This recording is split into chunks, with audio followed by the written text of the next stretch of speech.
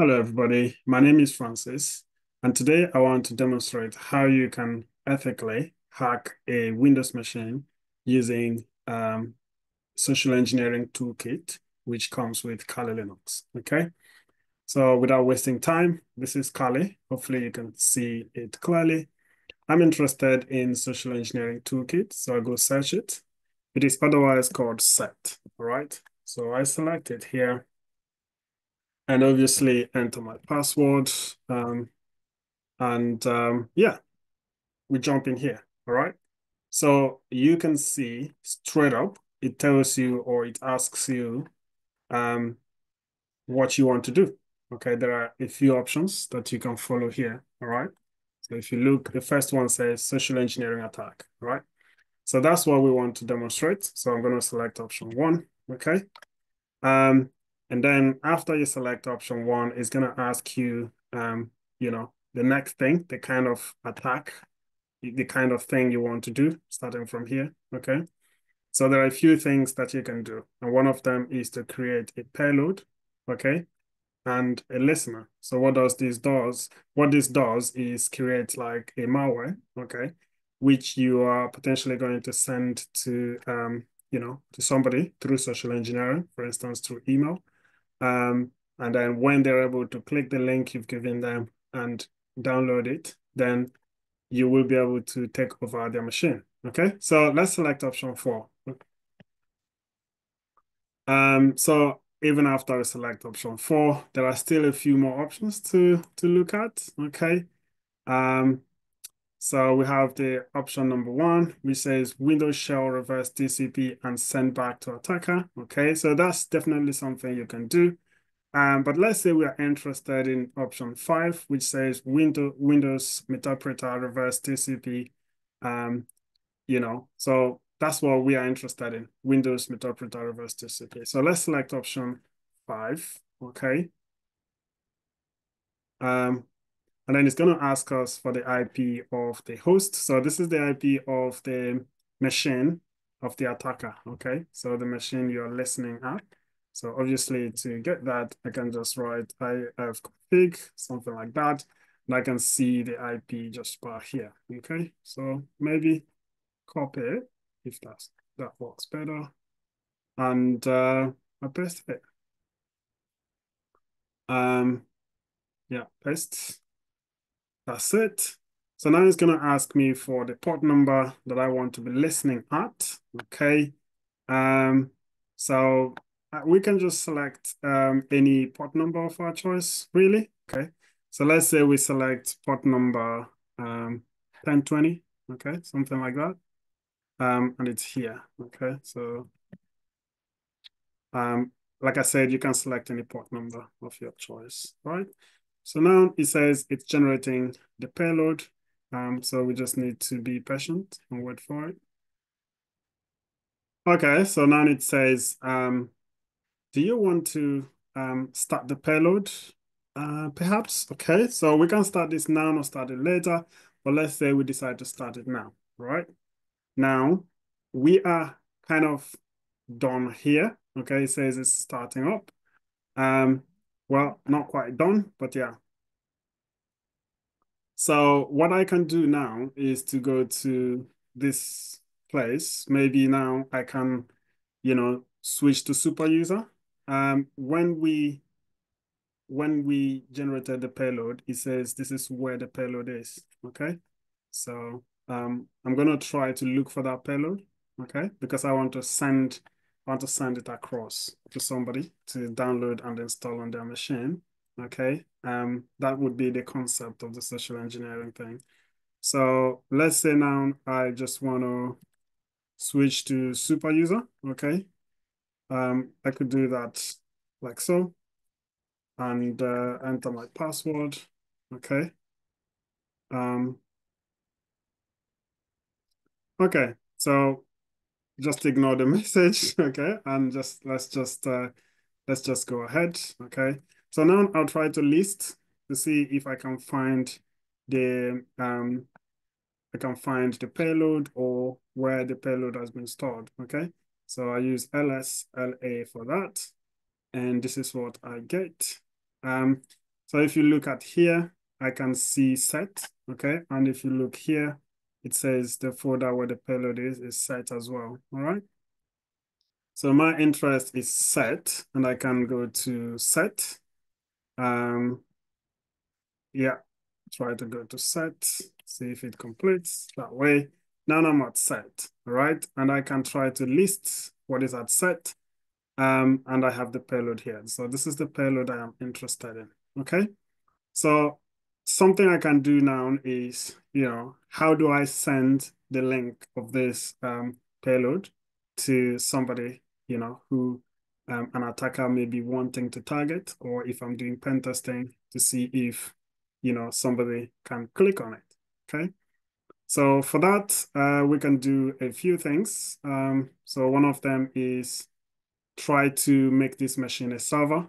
Okay, so the machine that we are in, so this machine, we try to make it a server somewhat. So I can do that by, for instance, uh, Python. Um, so let's say I want to do Python, um, you know, simple HTTP server. server. So let me just pass this parameter there and then say um, HTTP dot um, you know, dot server, okay, something like that. And um, maybe specify the port number to be 80, okay? Um, so let's try it and see if that command, um, okay. So um, I think they probably type. So let me check that. Okay. Um, so that was a typo there and um, now I'm listening, okay? So what this means is that this is a server, all right? So this, this thing is a server, and I can access this particular folder from anywhere, okay? So that's equivalent to um, sending a link, okay? So if I go to a second machine, so for instance, I have Windows and um, I go to a second machine, okay, like like you're seeing here. If I type, for instance, the IP address of that machine, which you saw earlier on, um, and then the port number, um, I would be able to get this payload like this, okay? So now I can download the payload. So let me see if I can refresh that. Um, give it a give it a few seconds. So yeah. It's a bit slow, but yeah, so basically, um, this thing represents the link that you will be sending to the person, all right? And, um, you know, once they click the link and um, get your payload on their machine, you will be able to perform actions that you want. So it's a bit slow, but let's give it time, okay? So it took some time, um, but uh, it now opened, so we are able to access that server and as you can see, these are the things that was in that folder. Okay, if I go back to the Kali to show you, so these this is the thing you are seeing now. So because you've made this machine a server, um, anyone on the internet can access it. Another thing to note is the port 80. So use the wrong, uh, the right port. So I think I made a mistake in the port initially. So maybe that would have contributed to the delay as well. So, but it's finally loaded, okay? Um, and what we're going to do is to try to download that on the victim machine, okay? So click on that.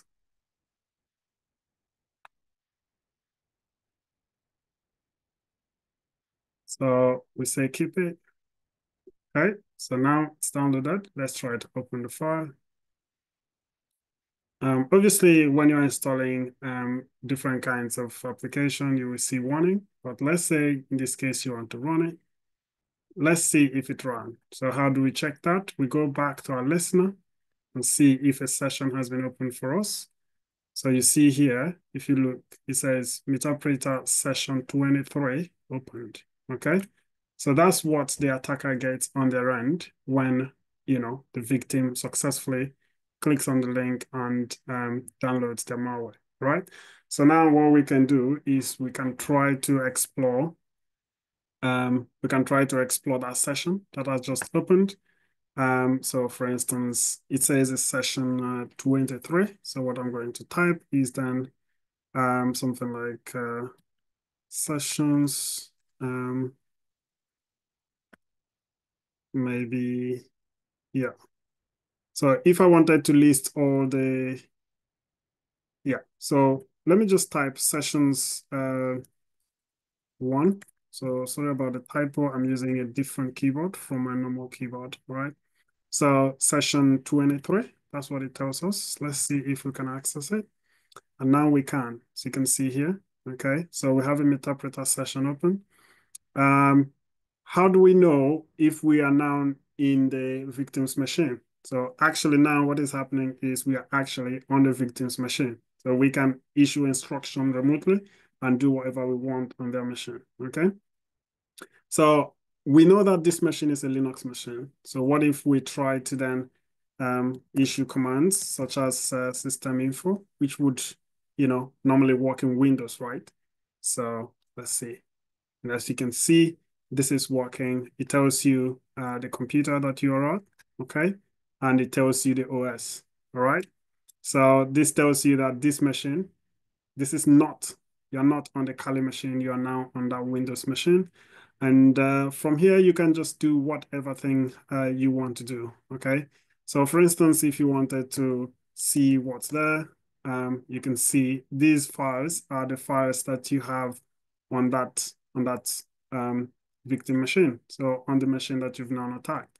And if you decide to delete any file or rename any file, you can absolutely do that. So that's it, guys. That's how you hack through a victim machine and uh, take it over.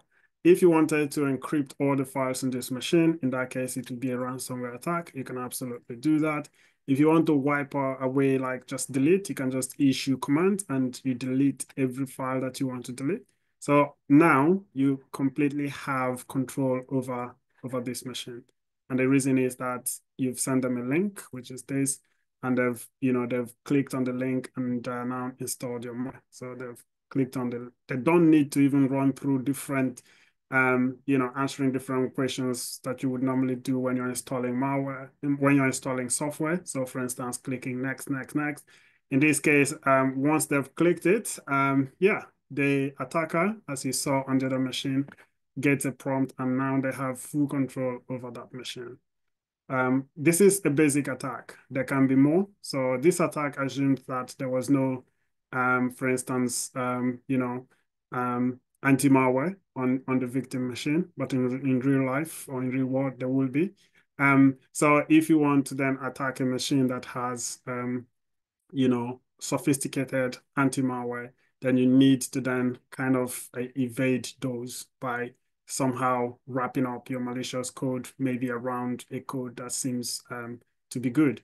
Uh, but that's subsequently. Um, do check out the, the, the channel um, in the future and we may be able to address those. Thank you very much uh, for listening. Please consider subscribing. Cheers.